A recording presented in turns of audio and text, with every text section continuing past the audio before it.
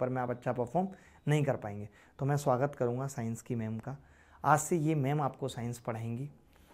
Radhika ma'am और बहुत अच्छी साइंस पढ़ाती हैं। काफ़ी एनालिसिस करने के बाद हमने ये पाया आ जाइए आप आ जाइए कि हम साइंस पढ़ाने की ज़िम्मेदारी किसे दें? तो हमें समझ में आया कि हम इन्हें ये ज़िम्मेदारी दें।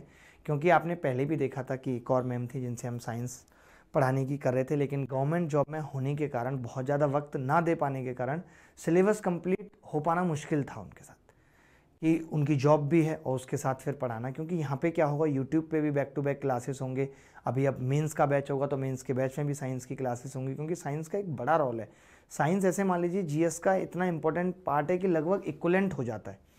तो मेरा तो बस इतना ही था कि एक बार आपसे इंट्रोडक्शन करा दूँ, उसके बाद मैम आपको पढ़ाएँ कि क्या क्या टॉपिक हैं क्या क्या उनकी थॉरी है और उसके बाद क्वेश्चंस कैसे होंगे, इस पर बात करें। ठीक है?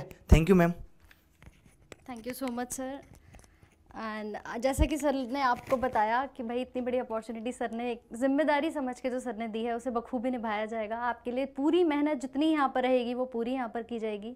और साथ में साइंस पढ़ने का एक तरीका। स्पेशली लगता है ना कि मैम रटना पड़ेगा। बायो है तो मैम इतने टफ शब्द हैं, इतने डिफ़िकल्ट